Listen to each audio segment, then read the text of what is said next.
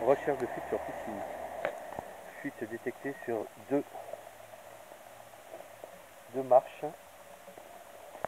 Testée à la floricine, exactement ici et l'autre. Là et là, deux petits points, c'est pas grand chose, mais c'est ce qui a permis de perdre à peu près 2 carreaux, 2 cm, 2 cm pardon, euh, par jour. Buse euh, de refoulement testé, aucune fuite. Euh, skimmer pareil, bande de fond pareil, bien sûr sans plonger tout ça.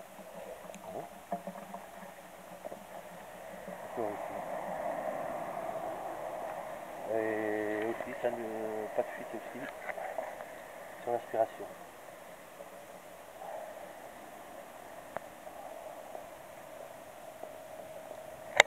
Recherche de fuite effectuée. Fois sans plonger.